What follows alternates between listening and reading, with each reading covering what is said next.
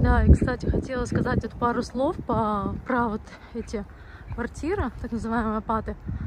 А, стоимость квартиры в этих домах, вот именно вот в этих домах, она где-то варьируется от 400 а, до 500 миллионов вон.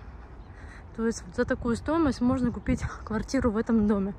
Ну, здесь квартиры, может быть, немножко дороже по сравнению со всем, ну, с Сансаном, потому что это такой очень активный город с высокой, с развитой инфраструктурой.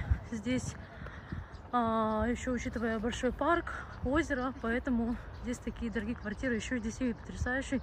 Ну, не везде, конечно, вон, если смотря куда сюда окна выходят, конечно, вид супер. Но здесь большие квартиры, они в среднем где-то а, от 70-80 квадратных метров.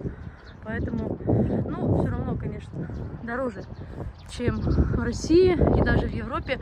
Я смотрю вот на статистику своего сайта, смотрю, люди некоторые ищут квартиры за 2 миллиона рублей.